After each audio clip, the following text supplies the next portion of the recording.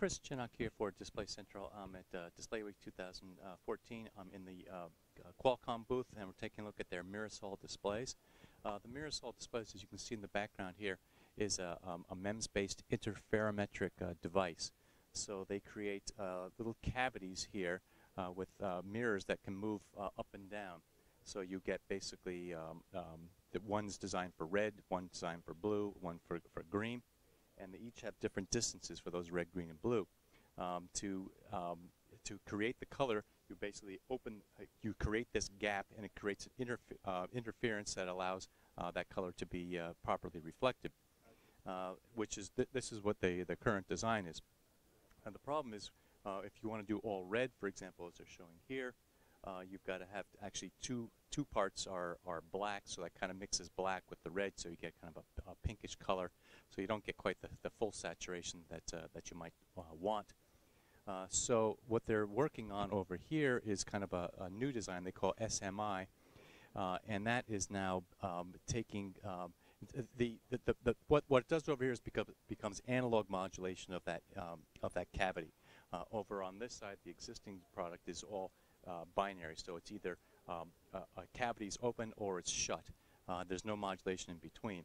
When you go to um, this kind of design, which is uh, being able to basically analog modulate the gap, uh, you can have uh, when it's fully shut, the gap is there's no gap. It's white. A little bit down, it becomes black, and then you, as that gap increases, you can get the full range of colors from blue, yellow, green, and into the red. So obviously much better uh, advantages of that are going to be things like um, uh, full color uh, with, with better saturated color. Um, they're going to be a little bit faster because they're going to an, an IGZO backplane. Uh, they're also going to have this as an active matrix uh, device. The current devices are, are passive matrix. Uh, it will be brighter as well uh, and more saturated colors. Uh, so and, and, lower power. So there's uh, obviously a lot of advantages for for moving to this design. Uh, uh, it is still in development, however, uh, don't have a time frame for commercialization, um, but obviously working on that. It could be a much more compelling next generation product. Um, what they are doing today is they have um, this device right here. This is called um, Qualcomm uh, TOQ, T-O-Q, uh, and this is a, a, kind of a reference design that they developed um, and released uh, last December. Uh, this has a 1.55 inch um, uh, reflective display with, with an integrated front light.